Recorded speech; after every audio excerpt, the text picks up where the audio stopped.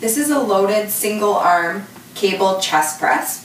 So what you're going to do is you're going to have the cable raised up to close to shoulder height, maybe just a little bit below, and you're going to have the cable just in one hand. I'm then going to turn my body so I have my back towards the cable and be in just a little bit of a stagger stance.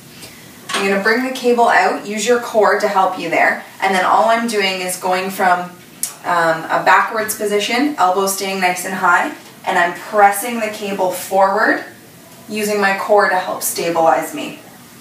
So I'm pressing there, and then just making sure to keep my back in good position, keep my head up, and I'm using my core each time as I press that cable forward, keeping the elbow nice and high too.